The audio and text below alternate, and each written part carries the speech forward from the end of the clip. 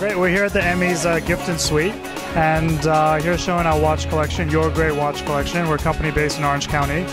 Uh, went full retail about four years ago, made watches for the Secret Service, and the Secret Service gifted the watch to then Senator Obama, who was running for president, obviously, and he hasn't taken it off in four years. So, uh, just this month's Time magazine, he's still sporting the same Jorg Gray watch that he wore at his inauguration, at his Nobel Peace Prize, um, and just about every event he's been at the last four years. So, has been a big uh, brand builder for us, and we've been building our brand the last four years ever since. This is um, President Obama's watch. It's got a nice inscription on the back as well, which actually says the 44th President of the United States, Barack H. Obama, uh, January 20, 2009, commemorative edition. Each has a serial number uh, individualized on it.